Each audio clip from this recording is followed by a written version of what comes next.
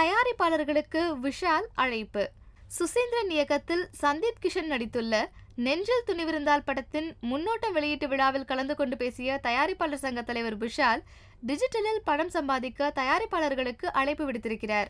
தயாரிப்பாளர்கள் டிஜிட்டல் பிளாட்ஃபார்மில் படத்தை வெளியிடுவதன் மூலம் பணம் சம்பாதிக்க முடியும். அதனால் டிஜிட்டலில் இன்று படத்தை வெளியிட தயாராக உள்ள நிறுவனங்கள் தயாரிப்பாளர் சங்கத்தை அணுகி அதை பற்றிய விவரங்களை தெரிந்து கொண்டு அதன் பிறகு படத்தை வெளியிடலாம்.